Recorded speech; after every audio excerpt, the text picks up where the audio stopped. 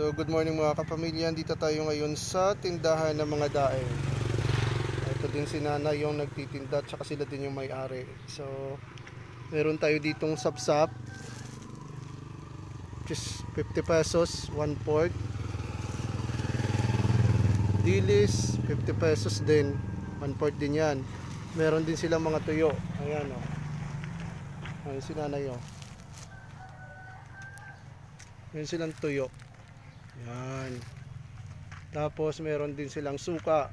Yan, yung suka nila. Yan. Tapos meron pa silang bang ano dito oh. Ano nga tagnay bagoong, bagoong na Bakong at saka ano na, ayan. Ito may dapo, ah, sa shell to, shell. Gaya nito. Yan. So punta lang kayo dito kung sa mga nakakamiss kumain ng tuyo. Lalo't summer ngayon, sarap talaga sa umaga yung tuyo.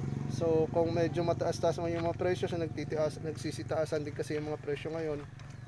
Yan, meron din silang yan, may luya, may bawang, may batuan, may mga saging din sila. Yan ah. Kompleto din sila dito lang yan sa Barangay Kasanayan, mga kapamilya. Ayan oh, meron pa oh. Saging saba. So, ayan oh, may hipon din oh. Yan. Ito yung pwesto ni nanay dito.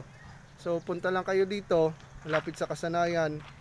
Alam nyo na kung saan to banda. Dito lang yan sa may tinatawag na Barrio Canon or Barangay Rice. Ayan.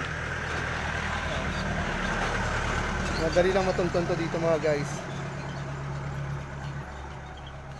Ayan o.